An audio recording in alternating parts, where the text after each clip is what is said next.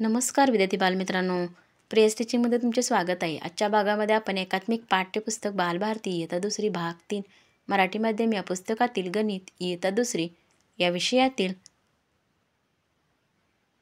गोष्टीतील बेरीज. पान नंबर आहे सत्तेचाळीस. पुढे जाण्या अगोदर आमच्या चॅनलला लाईक शेअर सबस्क्राईब करा आणि बेल आयकॉन दाबायला विसरू नका. म्हणजे पुढच्या भागाचे नोटिफिकेशन तुम्हाला मिळत जातील. चला तर देते बालमित्रांनो आज आपण गोष्टीतील बेरीज. भाग दोन. हा अभ्यास करणार आहोत. गौरीकडे पंधरा रुपये होते. आईने तिला अजून सव्वीस रुपये दिले तर आता तिच्याकडे किती रुपये झाले? पंधरा रुपये गौरीकडे दिलेले आहेत आणि सव्वीस रुपये आईने दिले. काय विचारले आहे? गौरीकडे एकूण किती रुपये आहेत? काय करूया? तर यासाठी आपल्याला बेरीज करावी लागेल. बेरीज. अशा पद्धतीने दशक आणि एककाचे रकाणे करून आपण बेरीज करू. पंधरा रुपये गौरीकडचे रुपये. अधिक सव्वीस रुपये आईने दिलेले.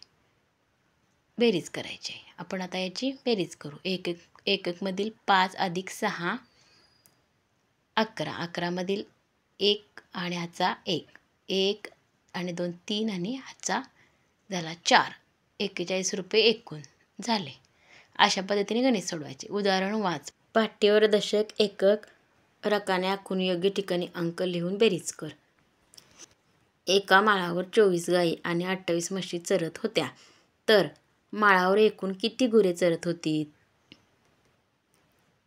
आता हे गणित आपण वर दिलेल्याप्रमाणे पाटीवर किंवा फळ्यावर सोडवायचे आहे. तर आपण फळ्यावर सोडवून पाहू. दशक आणि एककाचे रकाने केलेले आहे तर चोवीस गायी आहेत आणि अठ्ठावीस म्हशी आहेत. एकूण किती गुरे हे आपण काढायचे यासाठी आपल्याला बेरीज करावी लागणार आहे. आठ अधिक चार बरोबर बारा. बारामधील दोन इथे लिहायचे. हातचा वरती लिहायचा. दोन अधिक दोन चार आणि एक पाच. झाले बावन्न. एकूण गुरे झाली बावन्न. अशा पद्धतीने तुम्ही गणित सोडवायचे आहे. आता दुसरे उदाहरण आपण पाहू. सलमाने काल चौतीस रुमाल शिवले. आज तिने आणखी अडतीस रुमाल शिवले. तर सलमाने दोन दिवसात मिळून किती रुमाल शिवले? अशा पद्धतीने आपण करून पाहू. चौतीस रुमाल अगोदर शिवलेले. आणि दुसऱ्या परत आणखी अडतीस रुमाल शिवले. मिळून किती रुमाल शिवले? आठ आणि चार बारा.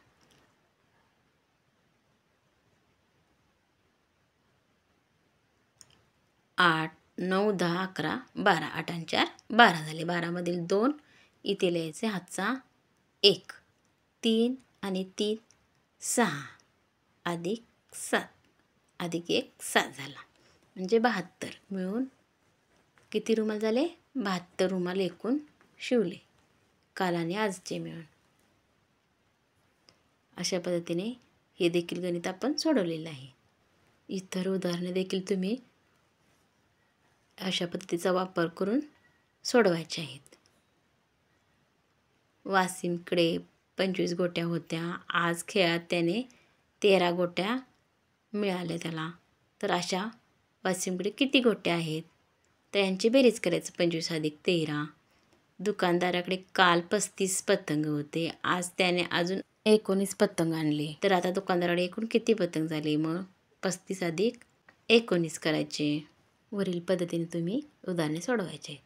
खालील बेरजांसाठी गोष्टी तयार कर आणि सोडव. तर बावीस अधिक सदतीस.